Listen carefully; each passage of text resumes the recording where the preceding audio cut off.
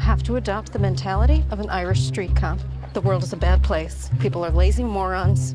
Minorities are criminals. Sex is sick but interesting. Ask yourself what would scare my grandmother or piss off my grandfather.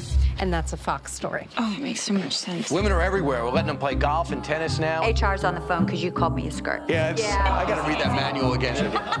The attitude off camera was even worse. You're a man hater. Learn to get along with the boys. You're sexy, but you're too much work. I have a whole list. Will other women come forward?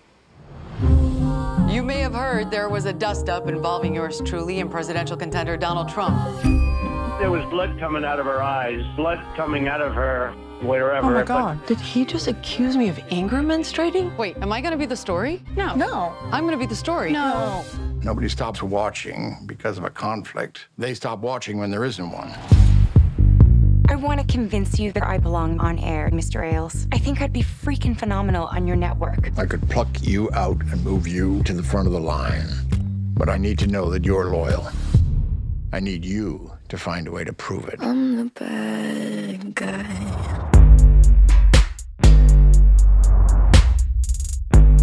You know why Roger's got that door blocking his office.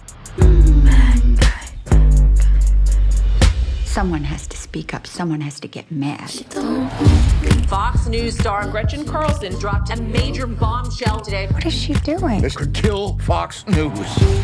We need everyone on Team Roger. Get it on. Put it on. These are the end times. You do understand I have to be above this, right? You know the entire country is talking about your period right now. So you're a tough guy, like you really rough guy. Just can't get enough guy. Just always so puff. Sweetheart, this is an island of safety and truth. There's a man!